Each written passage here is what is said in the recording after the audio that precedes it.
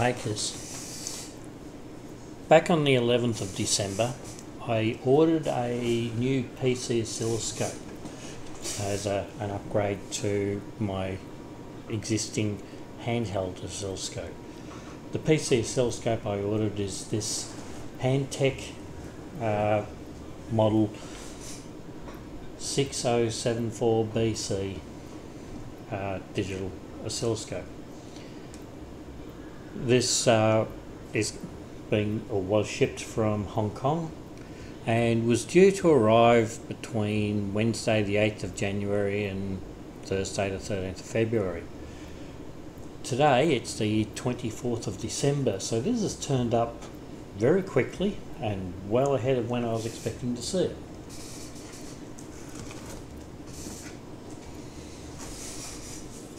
So what we, when I first open a box, we get a certification to say it's been certified by Hantek.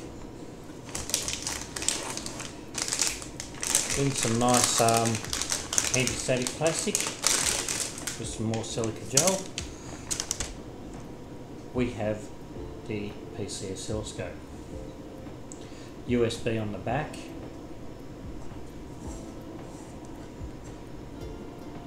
It almost feels like a rubber housing. Um, it's not very slippery, but it does feel. It's a very hard rubber. Should afford some protection. As you can see, there are four channels, and then we have our standard test points for calibration. Also in the box we have a standard oscilloscope probe, a second one.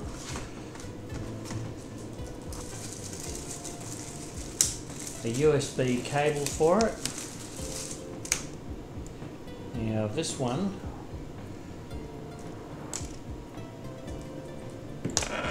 has a single USB type B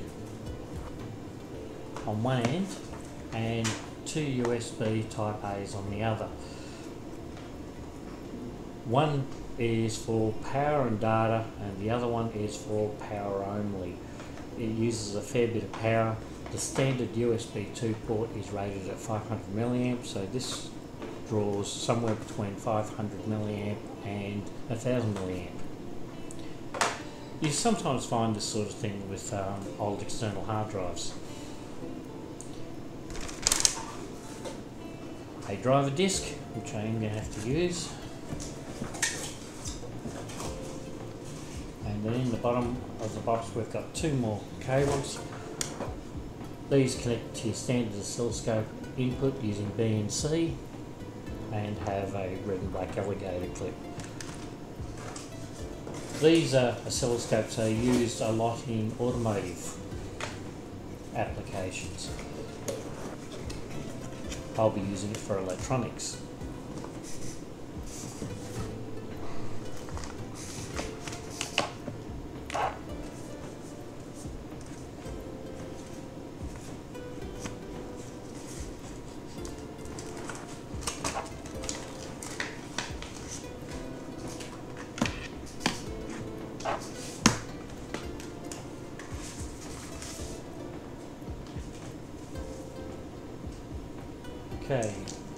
Tuning tool, a cap to go over the end of the probe when you take this off, which insulates this part, leaving you just the probe sticking out, and of course your standard hook type connection. This is a standard times 1 times 10 and there is a tuning, uh, I think it's a tuning capacitor in here to help with uh, some of the adjustment on it. You use the test output point to tune that on the by 1 and by 10 settings and you use this tool to adjust it so that you don't create interference uh, with a standard all metal screwdriver. You also have little rings that can replace this ring so that it's easier to keep track of which lead is doing going where. On a single trace, it's not a drama, but when you have more than one trace, you really do need to make sure you get the right probes hooked up to the right spot. Okay.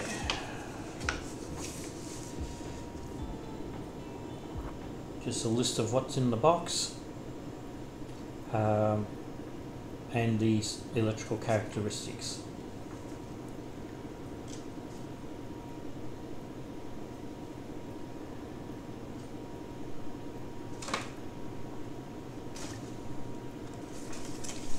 Okay, so I think next step is to uh, install the, the program and drivers and then plug it in.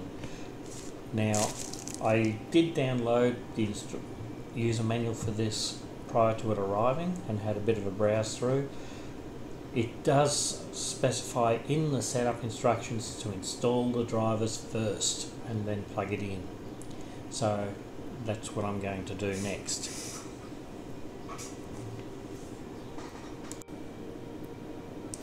Okay, on the CD that was supplied with the unit, uh, these are the files we currently have. We have a driver set of drivers, the manual, an SDK for writing software for it, and the installation program. So let's run the setup.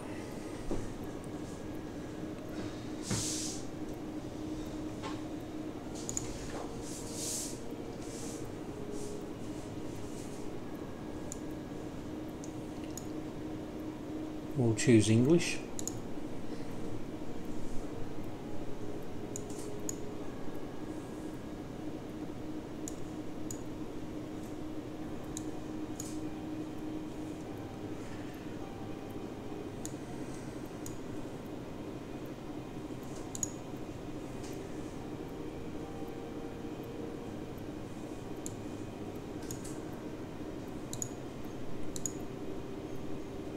Keep switching to the uh, other screen. So the um, recording.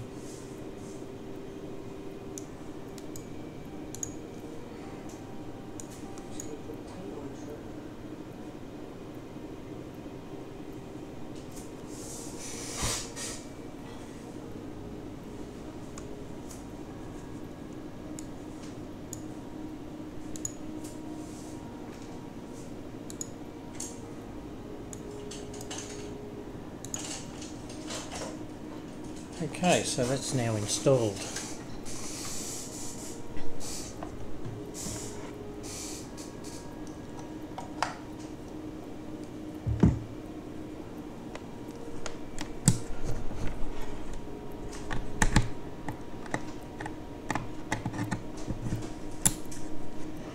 So I've plugged it in.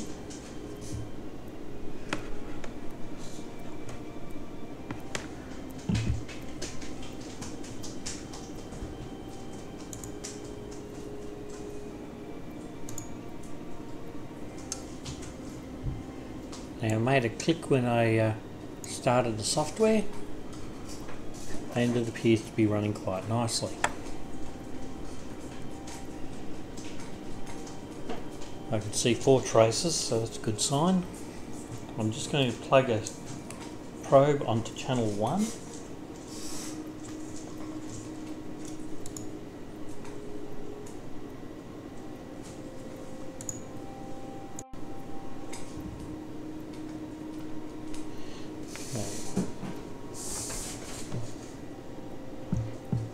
Oh, there is a green flashing light in there.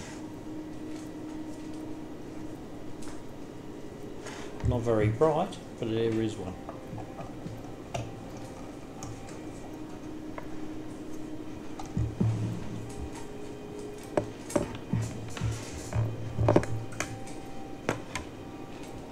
We'll put that onto the ground, the probe onto the calibration point.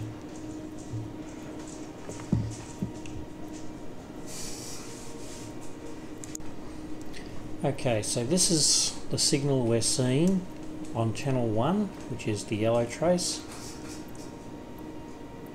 If we speed up our, actually slow down, we can see our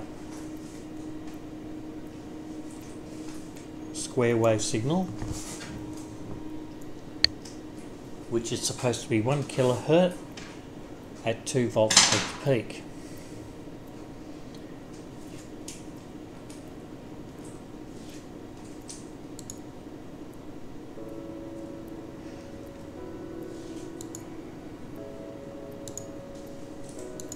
An XY trace is used when you're testing things like inductors and capacitors with an external oscilloscope, or oscillator, sorry.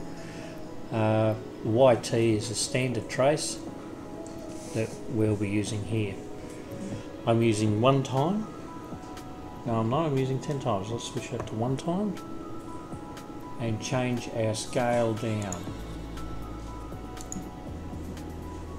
to 1 volt. So this is actually showing pretty close to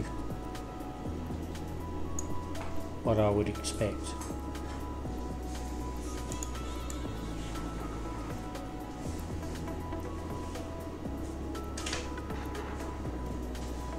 So that each of these grid marks is 1 volt that's going across too so that's showing quite well we are seeing a little bit of noise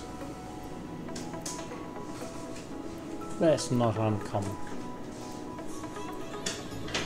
this is the first time I fired it up so I'll have a bit of a play so I can learn more about it to uh, see that video when it comes out don't forget to subscribe and click on the bell to be notified when I do release it. We'll see you on the next video.